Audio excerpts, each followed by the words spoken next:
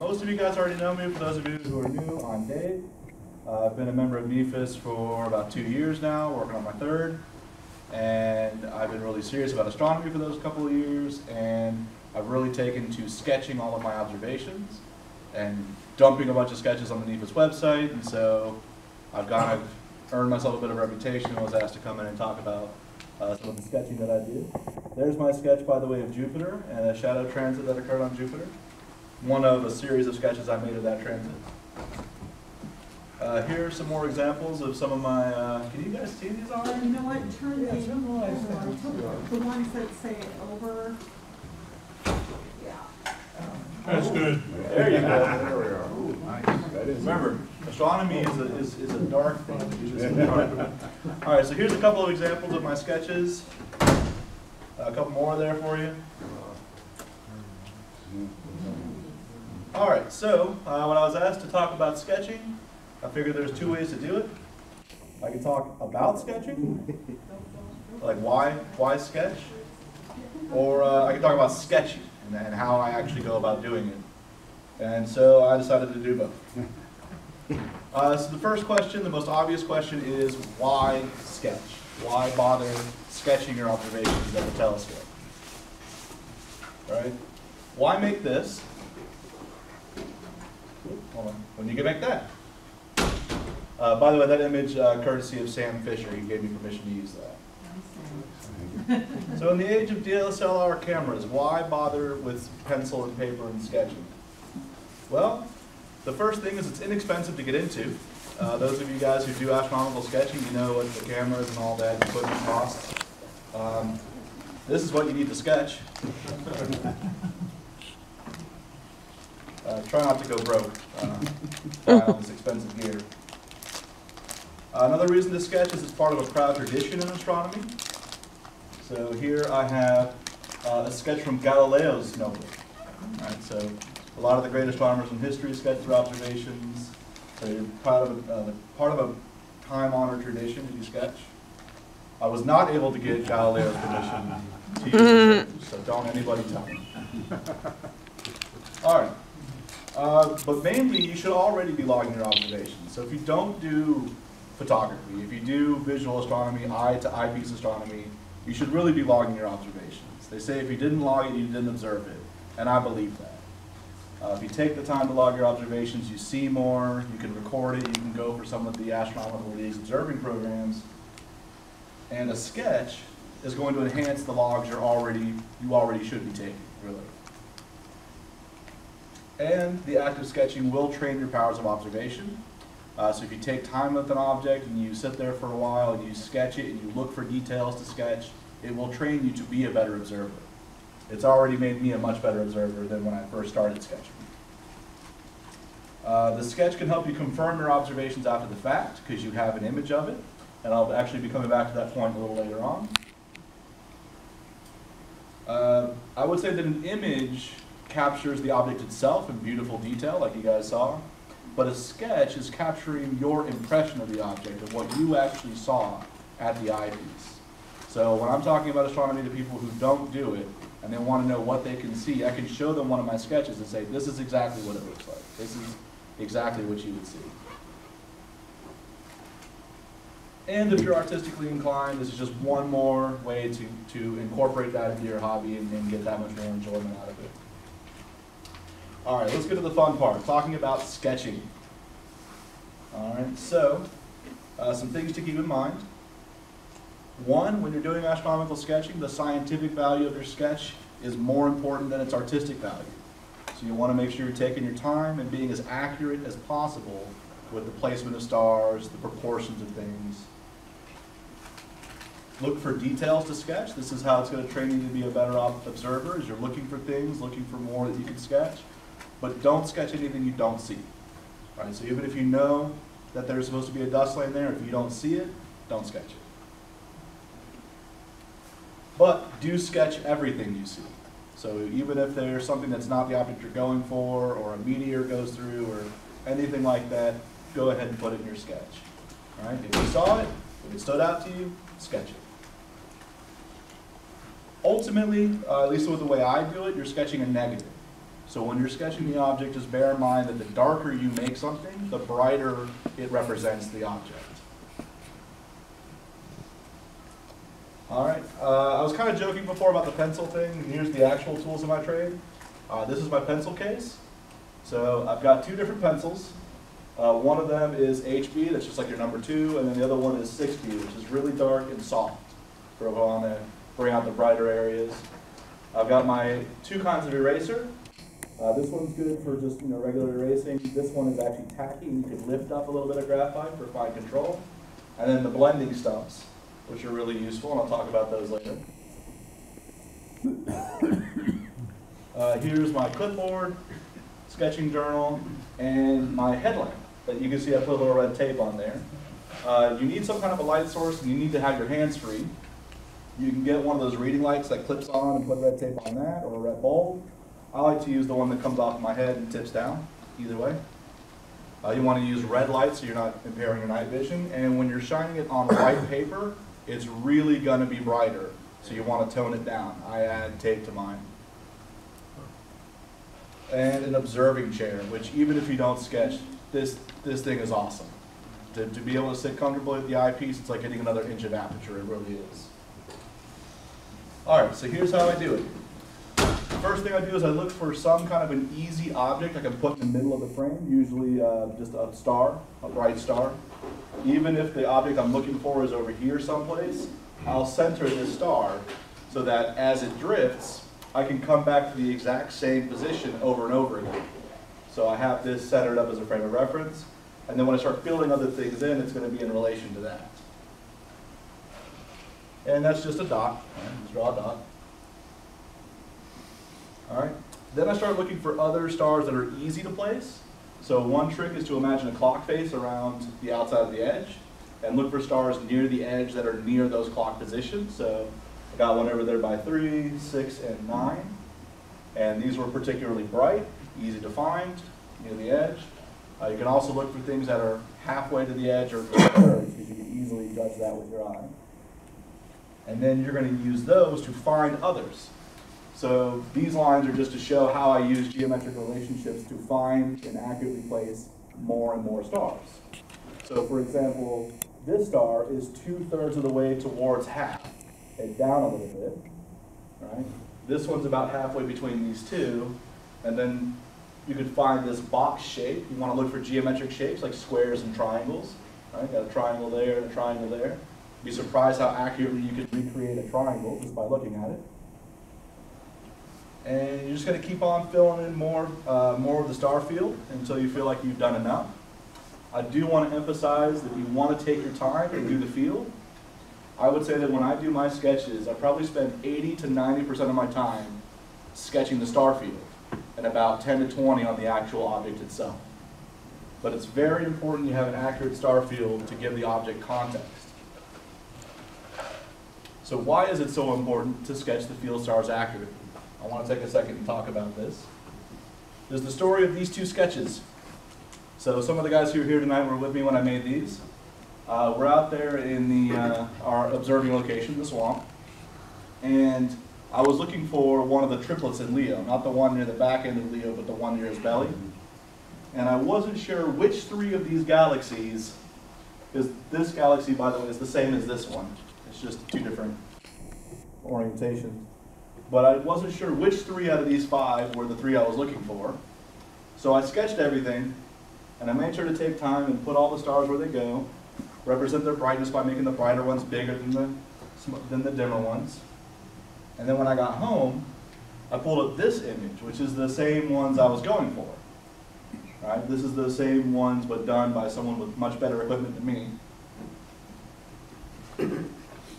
And then here you see I was actually able, using my sketch, to locate the same stars. So these three, right, are these three bright ones here. This little rectangular kind of thingy is this. And I was able to figure out exactly which ones were which. And I realized this is actually this galaxy over here, which is one of the NGCs. And so because I took my time with the star field, I was able to find those same stars and positively identify in my sketch. All right, um, once we put in the star field, we want to add in the object itself. Uh, if it's an extended object, like a globular cluster or a nebula or a, a galaxy, something that's fuzzy, uh, what I'll do is I'll take my pencil and I'll scribble next to my circle so I get a patch of graphite. And then I take one of those blending stumps and I rub it in the graphite, and then I rub in the object. And I use the existing stars again to triangulate its position and put it where it should go. All right, then what I'll do is I'll darken in the brighter regions, and again, in this example, you see I actually took out my darker pencil for that. Started making it progressively darker towards the middle because the object was progressively brighter towards the middle, right? Because remember, we're making a negative. Uh, then I add finishing touches, so that depends on the object. So this one was a globular cluster. I was able to pick out some of the individual stars, was able to resolve some individual stars. So I just sort of took my pencil and dot, dot, dot, dot, dot, dot, dot, dot, added those in. There's too many to try and find where every one of them goes. Uh, here is my sketch of M31, uh, the, the Andromeda Galaxy, and for this one I did notice a dust lane. So I just took my eraser, and I just erased a little graphite here, right, to make it lighter in the sketch so it's darker in the object. Once you finish your finishing touches, you're going to get your orientation and notes. Uh, so this is where that center star comes in handy again. I put that center star in the middle. I start filling out my notes, which I don't have any here because I actually just recreated a drawing for this. Uh, but then as I'm taking my notes, I check up on it every so often, and eventually that star is going to leave the field if your motor is off or if you don't use a motorized telescope. And wherever it leaves, that direction is west. So that lets you mark where west is on your drawing. And then if you want to find north, you either go 90 degrees clockwise or counterclockwise, depending on how many mirrors your telescope has. Mm-hmm. I never bother, so I forget which is which. but you can look it up. And so you have your sketch oriented and your notes, and that's it. That's you're done with your sketch at the observing location. So the next step is scanning the image into the computer and inverting it, which is what you do later. And now you can see why we sketch it like a negative. So it comes out the brighter region near the middle, or with this dust lane coming through uh, M31 like that.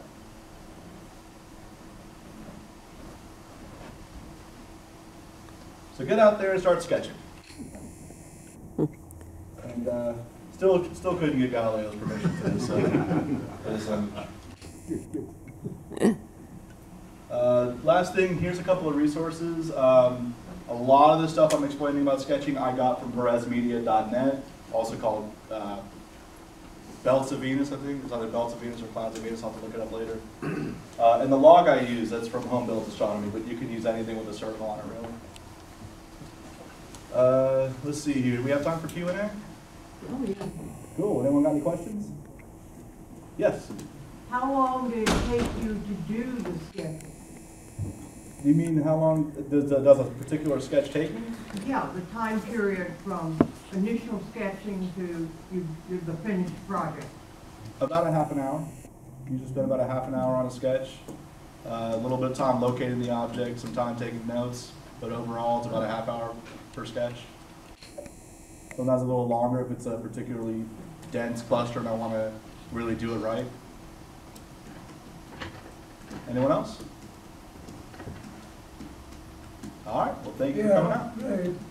Oh, Roger, you did have a question. yeah. Um, I've heard that one of the things that can help you, uh, in, to, uh, tune up your drawing is to practice by drawing an egg. Because you put an egg down, it's got, will shade one side brighter than the other and such like that. And if you make the egg look three-dimensional in your sketch, then your, your drawings of the sky will be better too. Oh, But Roger, what if you can't draw a stick egg? Like me. I guess I need to start sketching eggs then. Then you fail art. That's right, I did. All right, anyone else have any questions? Yes, It might be a good time to talk about what you guys are doing after the meeting tonight. Yeah, so like I was saying, um, I plan on making more sketches tonight. We're gonna head out to our dark site, our dark, uh, sky location, we call it the swamp. It's out in the Osceola State Forest. Uh, any one of us could uh, help give you directions on how to get out there, and uh, if you want to come join us, you're welcome to join. Uh, You could follow, I'm gonna head home afterwards, but you might be able to follow one of these guys, and uh, it's always a good time out there. Nice and dark. If you haven't been out there, you owe it to yourself to go to see what a dark sky looks like. Yeah, absolutely, definitely. However, there's no facilities out there. There is, there's trees all over. Well, there's no facilities for some people. There's every tree you could possibly want, and we do observe light discipline, so if you do come out, just be courteous about not having the bright lights on, using only red light, that kind of thing.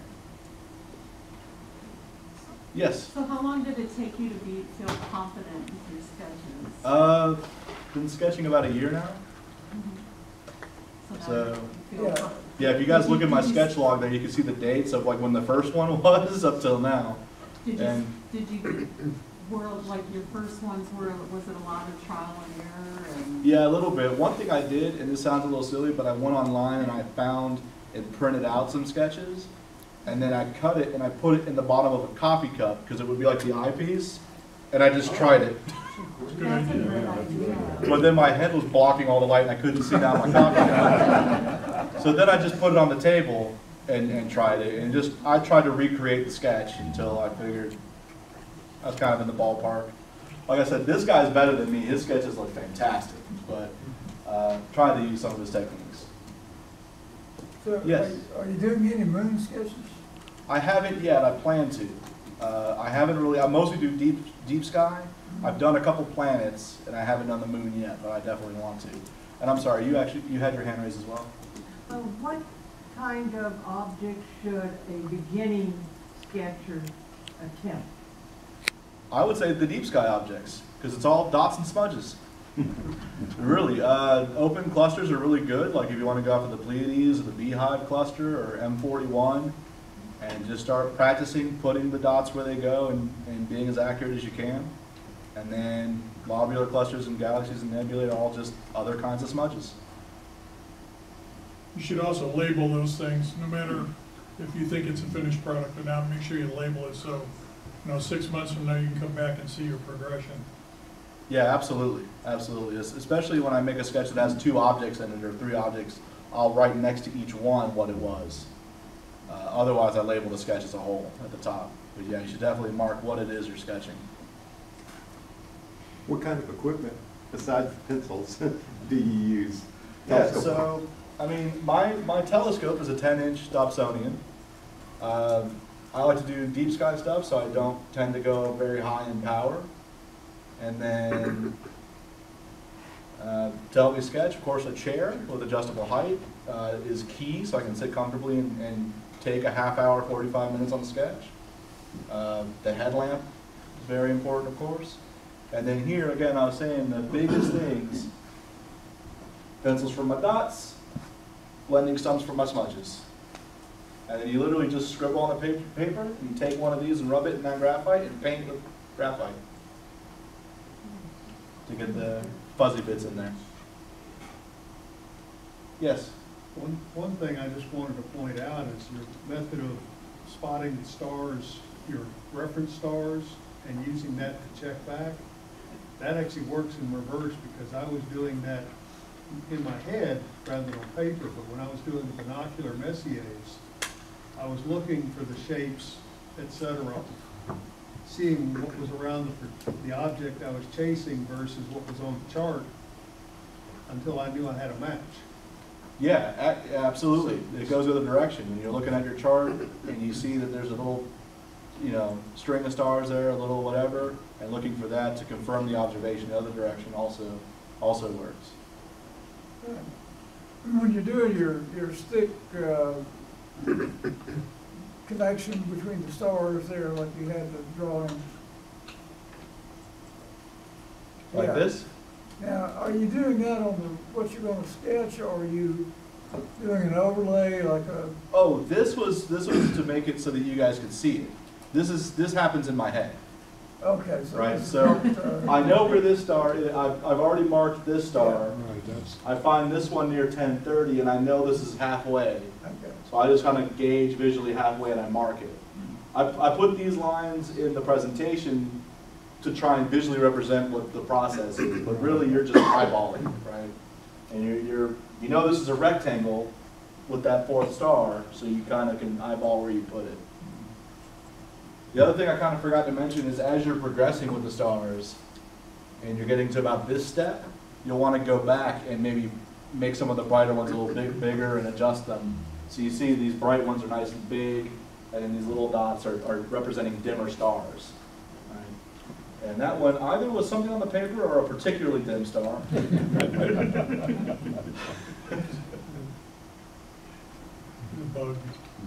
Yeah, maybe, maybe a bit of, uh, maybe a bit of pencil lead or something, I'm not sure. That was a mosquito. That's what it was, yeah. It's too small. That's because too small. I always love finding equilateral triangles, because every, it's the same length, same length, those are really easy to do. And you can find an equilateral triangle. All right, well, I guess that's it, thank you guys Good so job. much.